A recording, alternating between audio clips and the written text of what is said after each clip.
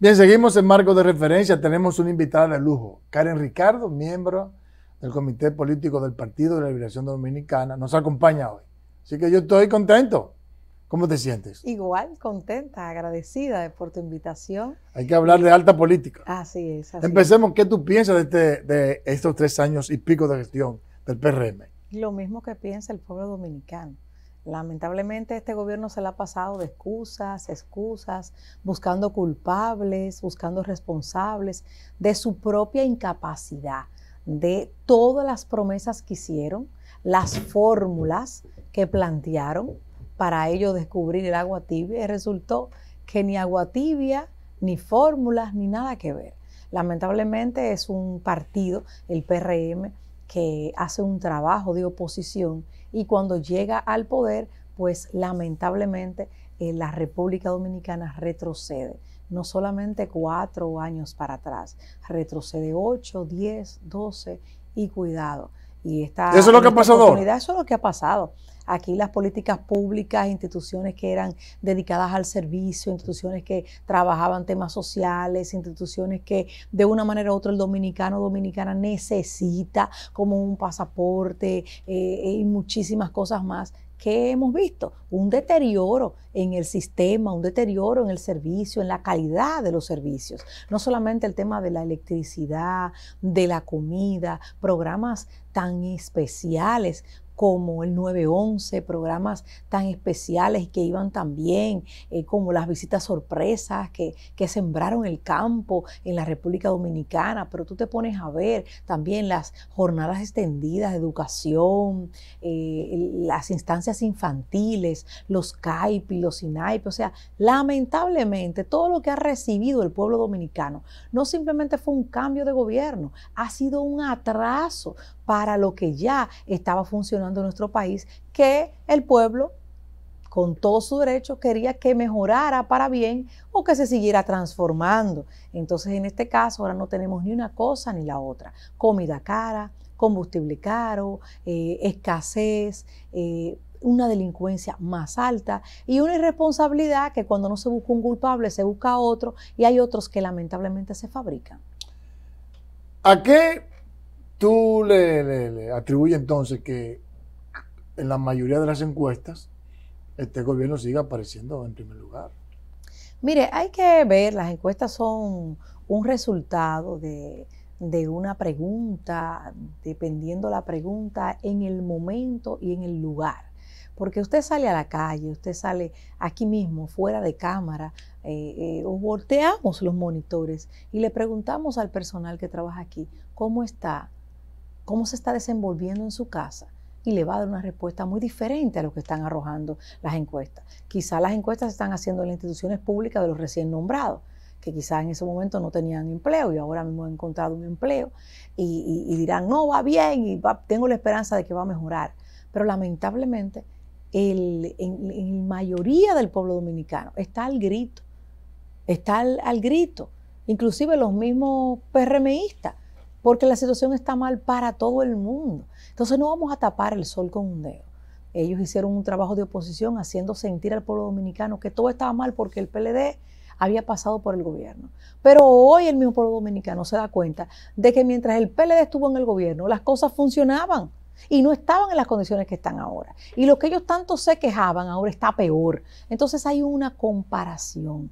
¿Qué nos ha pasado? Que nuestras figuras eh, del mayor liderazgo no son las que están participando. Tenemos un candidato estrella, Abel Martínez Durán, un hombre probado en la Cámara de Diputados, un hombre que fue fiscal por Santiago y dejó una buena impronta, y también el mejor alcalde de la República Dominicana, ocho años demostrado con todas las estadísticas que ha transformado esa ciudad corazón y que hoy tiene la oportunidad, Dios mediante, de transformar la sociedad dominicana. Ese es nuestro mejor candidato, la mejor carta de triunfo. Pero ¿qué tenemos que hacer?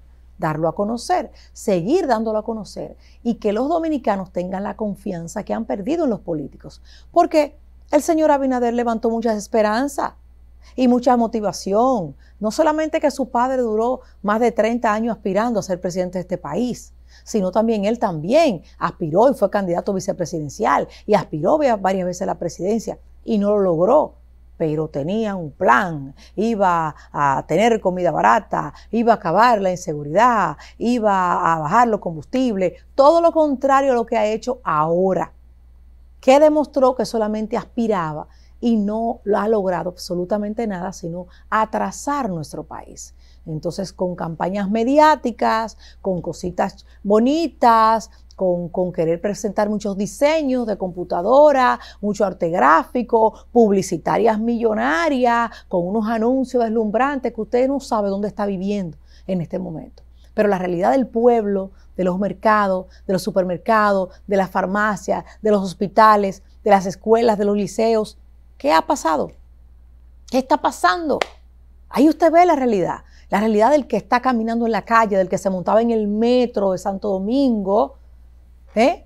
obra, esfuerzo, sacrificio del Partido de la Elección Dominicana, cómo está hoy en día. Tanto tiempo duró funcionando, nunca con un escándalo, con un ruido, y hoy tenemos otras cosas. Entonces, dígame usted a quién vamos a seguir culpando. A su incapacidad, señor presidente, de dirigir los destinos de la nación. Ahora se cree que con rueditas de prensa, que con estar haciendo chistecitos, que con querer hacerse viral, pues lamentablemente usted va a tapar el sol con un dedo. Ni usted ni sus malos funcionarios tienen oportunidad de quedarse dirigiendo los destinos de este país. Porque la sociedad dominicana está pasando por uno de sus peores momentos, de uno de sus peores momentos económicamente y lamentable desafortunadamente por su mala gestión, su mala administración y querer estar haciendo temas mediáticos puede empeorar.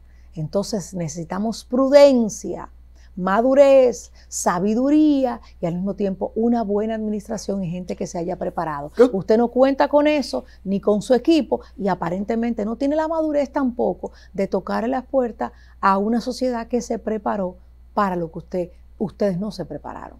Hemos visto a Abel Martínez eh, muy activo, especialmente los fines de semana, en diferentes lugares de manera particular. Yo que vivo en Santo Domingo Oeste, he visto que ha realizado varias actividades. ¿Qué tú has percibido? Crecimiento. Gracias a Dios, como, como mismo lo arrojan en las encuestas, ya que son una herramienta importantísima de trabajo, pues el reconocimiento de Abel Martínez cada día es mayor.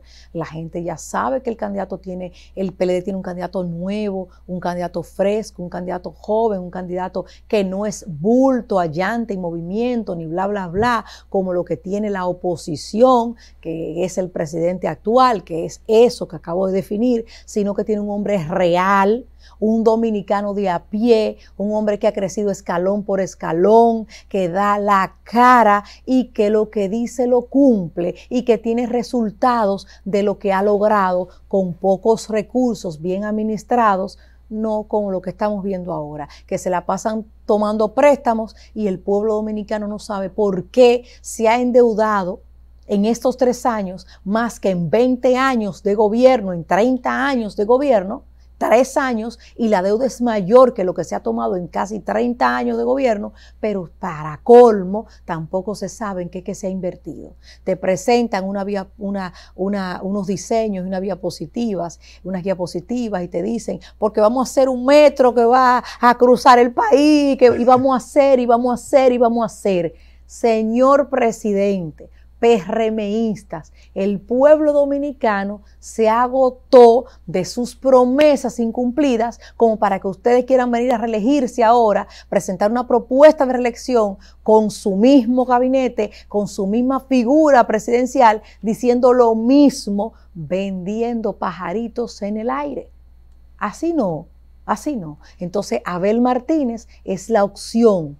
Abel Martínez es lo real con lo que cuenta un partido que sabe gobernar, que corrigió sus errores y que ahora tiene al frente sus mejores hombres y sus mejores mujeres saliendo a la calle con su frente muy en alto, demostrando que hasta en el peor de los casos se hacía mejor que lo que se está haciendo. Bueno, pero este fin de semana, este domingo pasado, realizaron una primaria y, y recibieron más de un millón de votos.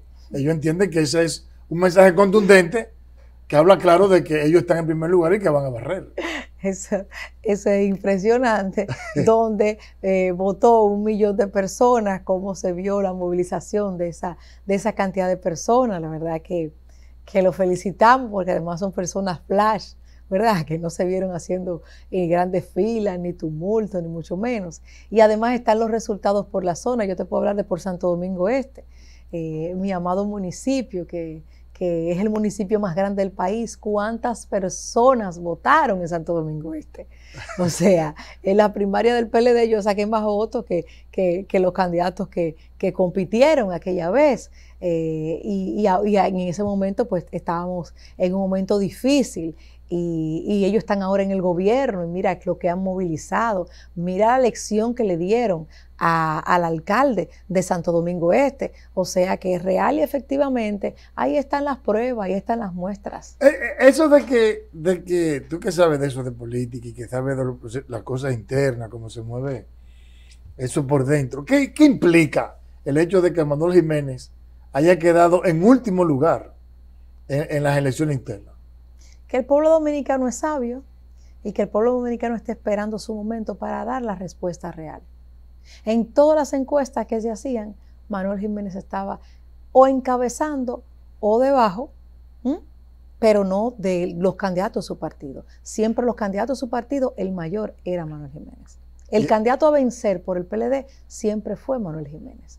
¿Qué te quiere decir eso? Que todavía ante, ante la población del municipio de Santo Domingo Este están primero, satisfechos, porque es un alcalde muy rechazado, una gestión muy rechazada, un hombre que desde cuando estuvo en el PLD, por lo que se fue al PLD porque quería ser alcalde, que decía que tenía un plan para un municipio y realmente se demostró que no tenía plan, no supo ni siquiera mantener lo ordinario que debe hacer un alcalde que un alcalde es un gobierno completamente local.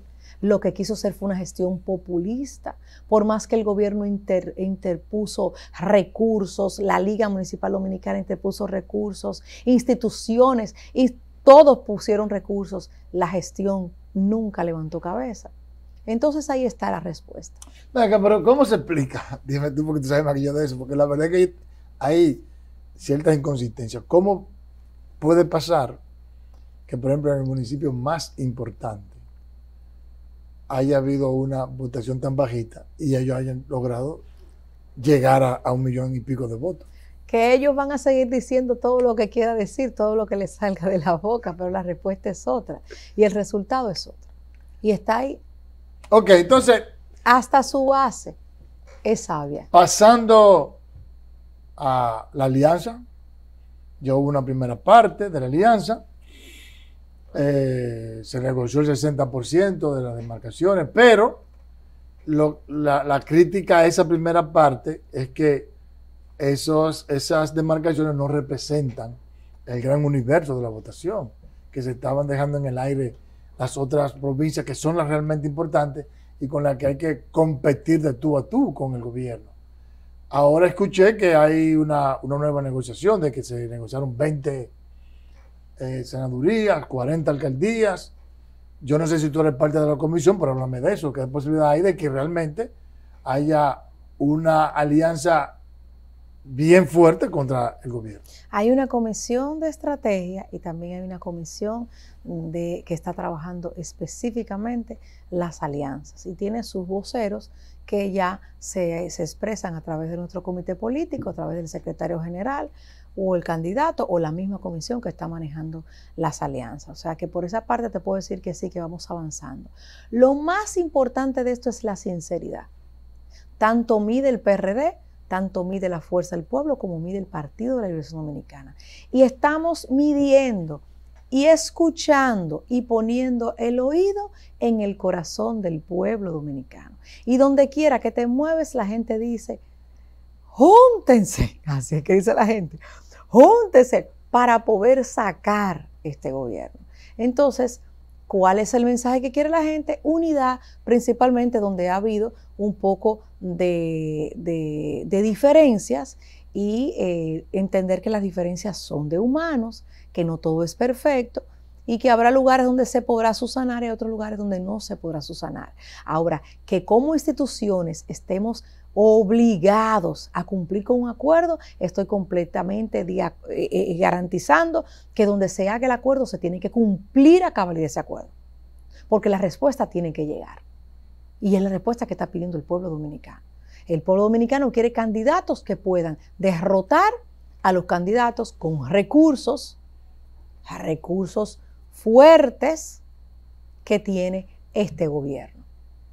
No imagen. Ahora bien, ya para eso se han conformado comisiones, tenemos una gran cantidad consensuada y la gente está esperando la respuesta del Gran Santo Domingo y del Distrito Nacional. En esas conversaciones está. Y yo creo que a medida de que los candidatos y candidatas sigan viendo el resultado de las encuestas, pues eso también va a garantizar. Sé que aquí hubo mucho movimiento después de esta semana que pasó con el tema del PRM también, de sus primarias ver la estructura que tienen los candidatos aquí. Aquí todos los candidatos a regidores, según Voz Populis, tenían una institución detrás, una, dos y tres instituciones detrás. Algunos tenían un senador, un funcionario, y de repente nos sacaron 600, 700 votos, 500 votos. Entonces, ¿qué te dice eso? Pues te dice que lamentablemente la pava no pone donde ponía, que quien votó por el PRM fue el mismo pueblo dominicano que también mayoritariamente es quien decide las elecciones y que no está conforme con lo que han hecho sus representantes y mucho menos este gobierno. Finalmente, Luis Alberto, ¿cómo está de aquel lado? Excelente. Con Dios delante tendremos un candidato, de, tenemos un candidato eh, ya eh, en los próximos días proclamado formalmente con todos los aspirantes a regidores también y regidoras que han estado saliendo de la consulta que, ocurrió también este fin de semana en el partido y que viene a concluirse este fin de semana próximo. Y también tendremos un alcalde, un alcalde gerente, un hombre eficiente, que también va a demostrar lo que es el PLD en la administración de la municipalidad. Santo Domingo Este, que se atrasó todo este tiempo, pues va a volver a retomar el camino del progreso. Karen, última pregunta. Esta situación, este conflicto que hay con Haití, ¿cómo te entiendes que ha sido el manejo del gobierno con el, tema haitiano? Mire, es un tema difícil eh, de tratar, pero jamás imposible principalmente para los que hemos estado permanentemente con la inquietud de lo que está viviendo la República Dominicana, que lleva años viviendo la República Dominicana. Esto no es un tema nuevo y esto no es algo que nos toma ni nos debería tomar de sorpresa. Lo que pasa es que como este gobierno se ha manejado de forma siempre populista y diciendo lo que no es, entonces la medida que toma la quiere venir a tomar como que son sorprendidos. Y es una, un irrespeto querer mostrar sorpresa o querer mostrar mano dura y querer decir que estamos cuidando la República Dominicana, donde este gobierno pues dio la autorización, permiso, tenía conocimiento de lo que se estaba construyendo desde el 2021. Entonces después quieren venir a decir que que hay. Ya lamentablemente una situación dada, pues se tomó la medida del cierre de la, de la frontera, no podemos decir que estuvo mal, pero ¿A quién queremos engañar? Prudencia, sabiduría y lo que ha dicho nuestro candidato presidencial desde el primer día.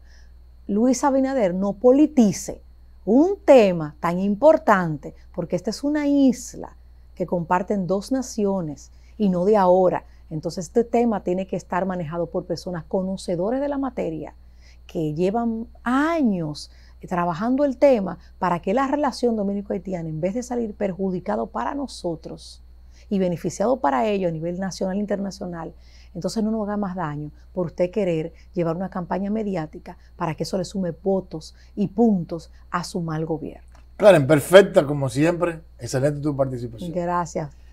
Finaliza por el día de hoy Marco de referencia. Nos vemos en la próxima entrega.